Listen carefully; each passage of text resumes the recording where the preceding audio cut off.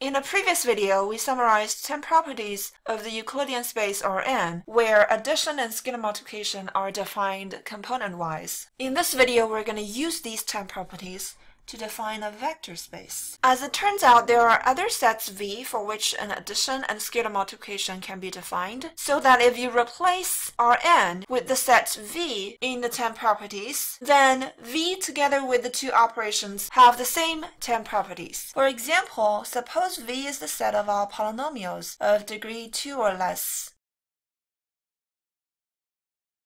with real coefficients and the addition and scalar multiplication are defined as the usual addition and scalar multiplication of polynomials. So to add two polynomials, you simply collect the terms. And to scalar multiply a polynomial, you simply multiply each term by the same scalar. Then you can verify that V has the same 10 properties. Let's verify those one by one. First of all, if you have two polynomials of degree 2 or less,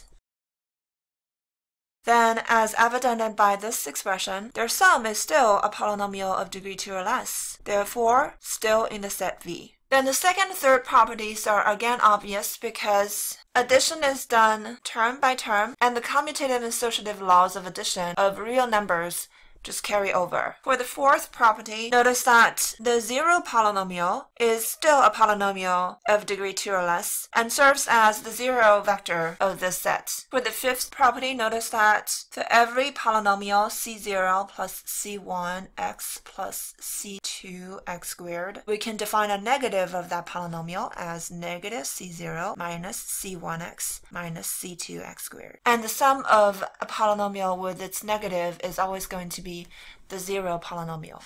For the sixth property, if we take any polynomial of degree 2 or less, then as evident by this expression, any scalar multiple of this polynomial is still a polynomial of degree 2 or less and therefore still belongs in the set V. The properties 7 and 8 are true because, again, the distributive law of multiplication of real numbers carry over here. Property 9 is true because there is associative law of, of multiplication for real numbers. So let's say if I have the scalar multiplication of a polynomial, and I multiplied this scalar multiplication by another scalar.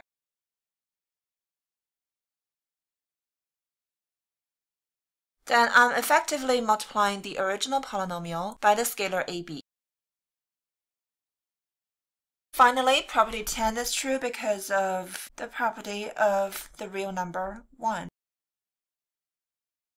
Now, because the set V of all polynomials of degree 2 or less have the same 10 properties that Rn has, the two sets V and Rn have a lot in common. In fact, if we know certain things about Rn that are true, and they're only based on these 10 abstract properties, then we can deduce that these things may also be true for the set V. So we can extend our intuitions about Rn to more abstract sets that have these properties. This motivates us to define a concept for those sets sets that share these properties. So here's the official definition. If V is a non-empty set on which two operations, addition and scalar multiplication can be defined, and V together with the two operations satisfy these 10 properties, then V is said to be a vector space, and any elements of V are called vectors.